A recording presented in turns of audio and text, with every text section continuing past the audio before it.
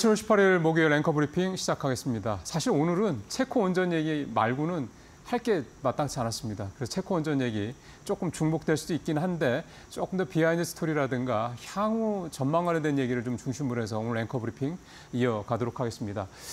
자, 체코 원전 2기 수주 우선 협상자 됐습니다.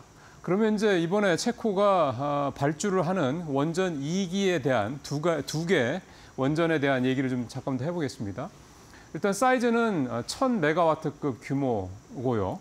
어, 참고로 아랍에미리트 바카라 원전 같은 경우는 1, 어, 1,400메가와트급이었습니다. 그러니까 결국은 이제 그 나라가 원하는 그 사이즈에 이제 맞춤 형태로 이 원전의 규모가 어, 결정이 된다 이렇게 이해를 하시면 되겠고요. 지역은 체코 동부의 두코비니 어, 두코반이라는 데인데 우리로 따지면 이제 동해안 쪽이라고 이제 보시면 될 것 같습니다. 뭐 강릉, 뭐 삼척 뭐 이런 데가 되겠죠. 사업비는 원전 두 기에 24조 원, 한 기당 12조 원. 이렇게 따지면은 한때 이제 언론에서 48조 이런 얘기가 나왔던 게 결국 이제 네 기를 다 우리가 수주를 했을 때 얘기가 되는 겁니다. 그다음에 2025년 3월 어, 내년 3월에 본계약 그러니까 이제 어, 우선협상 대상자에서 최종 계약자로 확정이 되는 게 내년 3월이라는 얘기고요.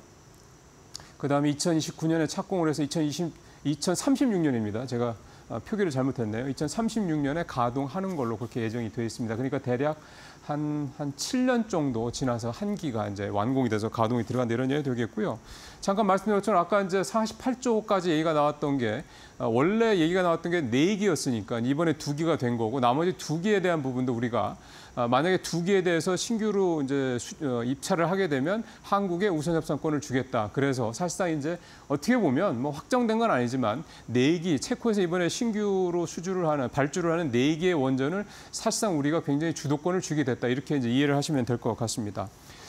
어, 아시겠지만은 프랑스 EDF, 프랑스 전력청하고 프랑스의 한전이죠. 여기하고 우리하고 이제 붙었는데 외나무 다리 경쟁에서 우리가 이겼던 이유를 지금부터 한 세 가지 정도로 크게 어, 정리를 해서 여러분들에게 설명을 좀 드리도록 하겠습니다. 첫 번째, 어, 제가 의뢰했던 CG보다 훨씬 더 크게 나왔네요. 글자가 보기 좋습니다. 월등한 가격 경쟁력.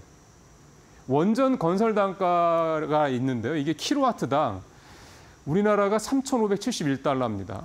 어, 프랑스는 7,931달러입니다. 우리가 프랑스의 45% 반값도 안 됩니다. 이제 이거가 그럼 이 금액이 이번에 우리가 체코에 대해 제안했던 그 금액이냐 그거는 어, 아니고요. 정확한 제시 그 가격은 공개되지는 않았습니다. 근데 이 금액이 어디서 나왔냐면 2021년에 세계 원자력 학회 원자력 협회에서 공개한 자료입니다. 그 당시에 2021년 기준으로 한국은 킬로와트당 3,571달러가 드는 나라고 프랑스는 7,981달러가 드는 나라다라는 겁니다. 미국이 한 5,800달러 정도 되니까 아, 우리가 미국보다도 거의 뭐 절반은 아닌데 한 60% 가격밖에 안 된다는 거죠. 그러니까 가격 경쟁력은 뭐 비교 대상이 안 됩니다. 그다음에 또 하나 살펴볼 게 어, 우리가 갖고 있는 이 K 원전의 가장 큰 장점은 정확한 약속을 지킨다라는 겁니다. 다음 차트 한번 봐볼까요? 대표적인 이제 가장 최근에 우리가 수주를 해서 어 이제 그 시공까지 이제 그 시공을 끝내고 이제 시험 가동까지 들어갔던 아랍에미리트 바카라 원전을 얘기를 좀 들 텐데요.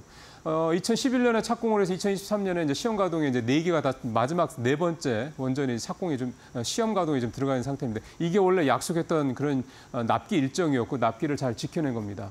반면에 프랑스 EDF 같은 경우는 어, 핀란드에 있는 원전을 하나 어, 그 했었는데 원전을 수주를 해서 이제 공사를 하고 있었는데 중간에 기술적 결함이 발생을 해가지고 13년이 넘은데도 결국 완공을 못했고요. 그래서 결국은 그 사이에 이 시공 일정이 지연이 되면 비용이 늘어나지 않습니까? 비용이 원래 계약 단가의 세배가 늘었다고 합니다. 그래서 이 핀란드와 이, 어, 이 프랑스 EDF 간에 지금 어, 법적 분쟁이 벌어지고 있는 상황이요. 프랑스 자체에 있는 원전도 좀 제대로 좀 완공이 아직 안 돼서 계속 좀 어, 시공이 길어지고 있는 그런 상황이라 합니다. 근데 그런 반면에 어, 우리 팀 코리아는 정확하게 바카라 원전에서 이걸 지켰기 때문에 이것도 체코에서 상당히 중요한 목, 어, 어떤 계약의 그 우선 협상자 선정의 이유로 제시가 되고 있습니다. 하나만 더 살펴보면은요.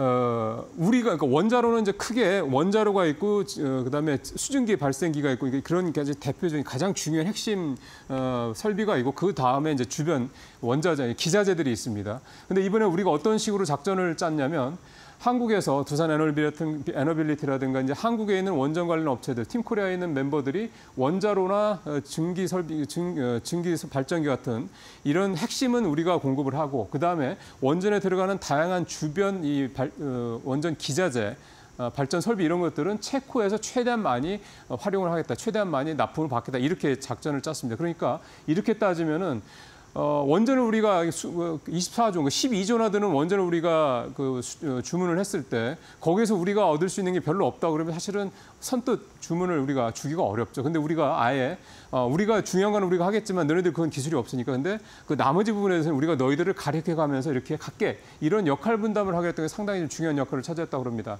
어, 이게 체코 내에서 한국 지지 여론을 만들었는데 특히 이번에 이제 두산 에너빌리티가 팀코리아 멤버인데 두산이 2009년도에 그 당시에는 두산 중공업이었습니다. 이 두산 중공업이 체코의 발전 설비 업체에 있는 어, 스코다라는 회사, 스코다 파워라는 회사를 인수를 했습니다. 그래서 두산 스코다 파워라는 회사가 지금 체코 현지에 있는데 현재는 이제 두산의 자회사죠.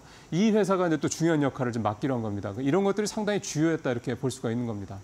근데 사실은 이번에 체코 원전 두 기만 가지고 보면은 이게 단발성이냐 이렇게 볼 수도 있는데 그게 아니라 앞으로 유럽에서 원전을 그 발주를 하려는 데가 굉장히 많습니다. 지금 나라만 보더라도 앞서 체코 두 기 남았다라는 거는 이제 다른 그 테멜린이라는 지역에 만들어질 걸 얘기하는 거고요.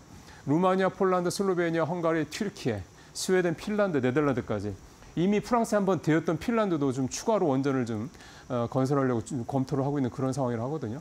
그리고 이들 유럽 나라들 외에도 앞으로 전 세계에서 여러 국가들이 지금 원전에 대해서 큰 관심을 보이면서 한 300기 정도의 새 원전이 발주가 있을 것이다라는 그런 어, 전망도 좀 나오고 있습니다. 뭐 300기까지는 둘째 치더라도 적어도 이렇게 유럽에 있는 나라들의 원전을 우리가 뭐 다는 아니고 반만 수주라도 앞으로 10기 이상의 어, 신규 원전을 우리가 어, 주문을 받을 수 있다, 수주를 따낼 수 있다 이런 전망이 가능하다는 얘기입니다. 그러니까 결국은 뭐냐면 앞으로 원전은 불가피합니다. AI 시대가 도래하면서 기존의 신재생 에너지라든가 석탄 화력을 이제 석탄 발전을 거의 못하기 때문에 신재생 에너지 가지고는 충분한 전력을 공급할 수가 없다는 얘기입니다. 그렇다면 결국은 원전으로 갈 수밖에 없고 그래서 좀 어, 각국이 원전을 신규로 좀 건설을 하거나 또는 중단됐던 원전까지 다시 가동한 이런 상황이 있기 때문에 이런 상황에서 우리나라가 갖고 있는 이 가격 경쟁력 그다음에 납기를 준수한다는 이런 어떤 어, 그런 어떤 기술력 거기다 이렇게 현지에 이렇게 좀 뭔가 같이 하려고 하는 이런 협력 능력, 이런 공감 능력까지 다 갖고 있다는 게 결국 K 원전의 경쟁력이라는 측면에서 봤을 때 앞으로 원전은 비단 원전뿐만 아니라 계속해서 우리가 수주를 따내는 그런 어, 어떤 좋은 호재들이 잇따르지 않을까 그런 생각을 좀 해봅니다. 앵커 브리핑 오늘 여기서 마치도록 하겠습니다.